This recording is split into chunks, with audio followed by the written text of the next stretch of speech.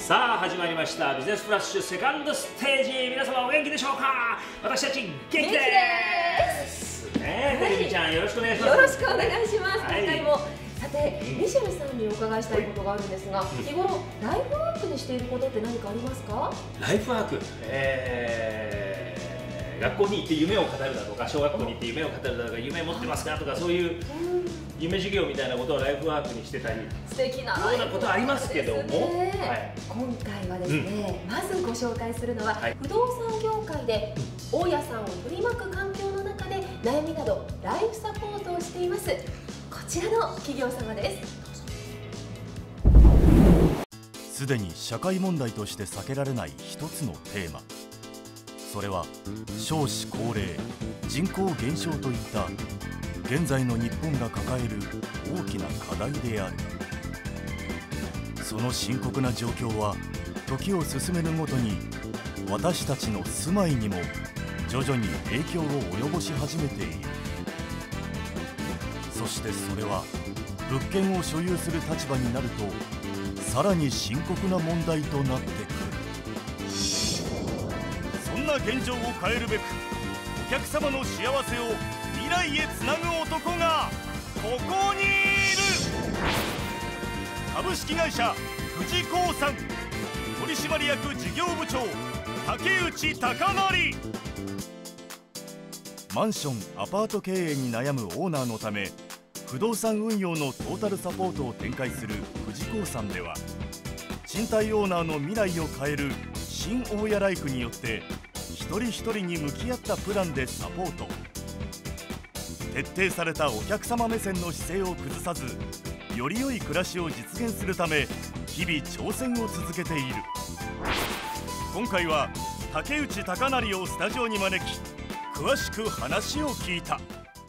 株式会社富士興産取締役事業部長竹内孝成様です。よろしくお願いします。よろしくお願いします富士興産の新大家ライフというものについて教えていただけますか？はい、えー新大家ライフなんですけれども、このタイトルの通りですね、新しい大家の人生、大家さんの人生。いやそれはどういう？まあ、こういうことなんですけれども、はい。まあ、私たちは大家さんにより良い人生を送っていただきたい、はい。大家さんの幸せの最大化を目指すと、こういう考え方に基づいて取り組んでいる概念です。まあ、従来の大家さんであればですね、アパートを建築して、そそして入居者の方がまあ入られると、まあ、これはあの需要と供給のバランスが需要の方が多かった、まあ、いわゆる入居入居されたい方が多かった時代だったものですからそういった形でやってたんですけども、まあ、今後はですねあの需要と供給のバランスが変わっておりますので逆にですねあの大家さんが経営者の視点を持って、まあ、プロ的な経営をしていただきたい時にはですね、まあ、そのアパート経営を継続していくのかなとか。今先ほど手放すはい、手放すすだとか、まあ、こんな選択肢も我々は問いかけたりすることをしています。は最初にその新大家ライフを始めたきっかけってどういうことだったんですか？はい、あのー、新オライフを始めたきっかけっていうのはですね、私ども一棟アパートマンションの収益不動産を取り扱う専門の会社でございます。で、まあ、こういった専門で取り扱う会社としてですね、実際大家さんの生の声を聞いてみたいと、全国の大家さんに対してアンケート調査を実施いたしました。でその中で我々自身、まあ、こういった収益不動産を扱う事業者としてですね何かその大家さんに対してご提案ができないだろうかとお悩みを解決するご提案ができないだろうかということを考えてですね、まあ、我々自身こういった大家さんのお悩みを解決することが我々自身の使命であると、まあ、こういうふうに考えましてですねこの深夜ライフをスタートさせてもらった次第です。大家さんの幸せの最大化をコンセプトにスタートしたのが新大家ライフ。実際にはどれくらいの利用者がいるのだろうか。あの東京の方ではですね会員数が今現在274名ございまして名古屋の方では258名。で総総員で会員数の合計で言いますとですね532名の会員の方がお見えになります悩み抱えてるしね。もうセミナーを無料セミナーを実施しておりましてもうこれはあの大家さんのあの悩みを解決するかけになるようなセミナーを開催してるんですけれどもこれ毎回ですね80名以上の会参加者がいましてでこちらの方であの会員になっていただいてファンが増えていっているとこういう状況でございます。でもそれで実際に生に生で大家さんにご講演していて、今どういう環境だなどういう状況だなって見ていらっしゃいますか。そうですね、やはりあの2000年後半からですね、やっぱり人口の減少が始まってまして、であの新築着工件数ですか、アパートの、賃貸住宅用アパートの賃貸住宅用件数がですね、あの増えております。やはりそういった中でですね、賃料の下落だとか、空室の増加だとか、まあ、こういったお悩みであの苦しんでみる方が多々見えましてですね、2013年の統計庁のデータなんですけれども、まあ、5, 5部屋に1部屋は空いているという、まあ、このような状況なんですね。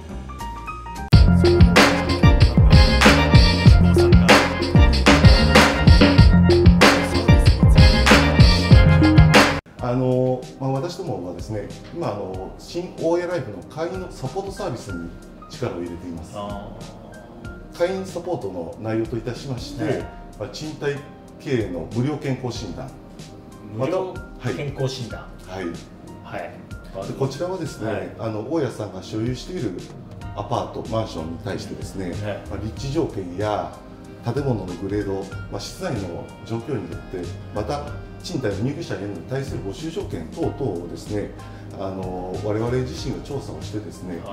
まあ、大家さんに対して私たちの目線で改善の提案をする内容となっております。またあの10年後のですね今後このアパート経営を続けていくと10年後どうなるんだろうということを想定してですね賃料を今後どうなっていくんだろうかと空室の状況がどうなっていくんだろうかこのアパートにかかる建築費用あ修繕費用はどうなっていくんだろうかと、まあ、こういったことをですね試算してですねそういったことを、まあ、大家さんに提供させていただいて、まあ、このアパート経営をですね大家さんが積極的にあのやっていかれるのかまたはその見通しとしてあの厳しければアパート経営を撤退されるかなんていうことをですねあの提案させていただいているというようなその会員向けのサービス1つ目が健康診断、はい、2つ目が今おっしゃった空き室空室対策のコンサルティング、はい、でこうこういったあの我々が調査した内容に基づいて、まあ、この賃貸経営の無料健康診断に基づいてですね、まあ、大家さんに対して、まあ、今後この空室をどうやって枚数にしていこうかということをですね我々なりにですね募集の条件だとかリフォームだとかあとはあの賃料の設定だとかこういったことをですねあの我々自身が提案するんですけれどもなかなかですねあの建物をきれいにすれば部屋をお部屋の方をですねきれいにしてお金をかければもちろん入居者の方は入ると思います。で賃料をあのお値打ちにすればまたあの入居者の方も入ると思います。しかしですねあのやはりアパート経営ですから、はい、大家さんがそれをやって枚数になったとしてもですね経営自体が、うん、そうでしょうね。全然潤っていかないという。だ結果になってしまうとですね、はい、まあ我々の方にはないわけなんですね。ですから我々自身が、まあ、我々の経営の感覚としてですね適正な賃貸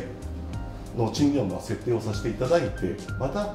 それにかける必要な修繕費を算定してですねこういったあの募集の方法で枚数にされたらどうでしょうと、まあ、こんなような方で、ね、提案をさせていただいているというのが実態ですね。まあ、今の現状があってそれでこういうデータがあってそこから割り出されるものをお伝えした時に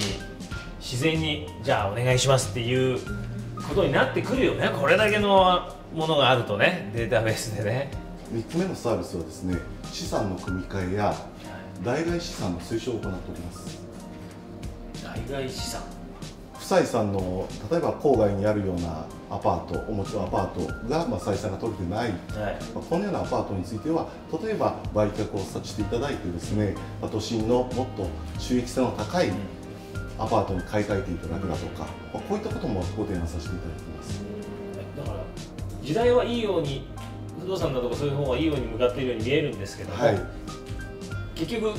なんていうのかな競い合うことが多くなりすぎちゃうおっしゃる通りですね。そういうことですよね。競争の世界競争の世界ですね。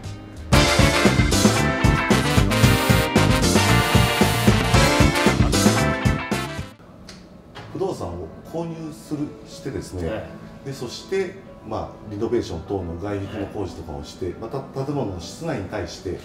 リフォームとかをして、はい。その後賃貸の募集をしてその後投資家の方と販売をすると、まあ、こういう話をさせていただいたと思うんですけど、はい。ねはい。まあ、うちどものスタッフはですねこれを一気通貫して全て一人で行っている一人で行う。はい。一人でできるんですかこはい。もうれ責任を持って。そうです。は責任を持って一人で仕上げると、まあ、こういうことをやってるんですけれどももちろんその金融機関の交渉からですね契約関係から含めてアパートの経営の状経営をはいから含めてですね、はい。全て一人でやっていると、まあ、こういうことを行ってるんですね。そういったスタッフがですねこの新オイライフのコンサルタントになっておりますので大家さんと同じ悩みや喜びを共有できる、まあ、そんなところが私とは圧倒的に違うところなんじゃないかなと思っております。実力者がいるってことですね。スタッフとしてねでも。そうですね。はい。ここまでなかなかできないでしょ一貫して全部分かってくれてるって思そいうまですすね。例えば一部分しかあの経験してなはい。いスタッフがコンサルティングをやってしまうとですね、その部分的なお話しかできなくてですね、やはり大大家さんと直接ですねお話ししてですね、あの身のあるお話おお話ができないっていうそういったことになりますので、あの我々スタッフ一人一人がもう経営者という意識でやっておりますので、はい。無料健康診診断書だからゾクッとするけどねですからまあこういった無料健康診断もですねスタッフ一人一人がその物件を大家さんの物件をですね自分自身の物件と考えてですねこういった資料を作成してご提案させていただいておりますので項目が違うだけで本当に病院の健康診断を見ているようですね。そうですね、まあ、健康診断と名付けさせていただいておりますので、まあ、今後このアパートアパート経営がですねあの要治療だとか健康であるだとあーなかるほどまあ、そういった言葉も添えさせていただいてこの健康診断の方は提出させていただいております。一人一人に向き合い新大家ライフで幸せを実現する竹内孝成そんな男が心に刻んだ格言とは？そうですね、ありかったりの言葉になりますけれども、まあ、己の欲せざるところ、人に施すことなかれということで、まあ、私、生涯通じてですね、まあ、この言葉を大切にして、まあ、取り組んでいきたいと思っております。いやいつまでも我々の良きねそして大家さんの良きアドバイザーでいてください、はいありがとうございました。ありがとうございました。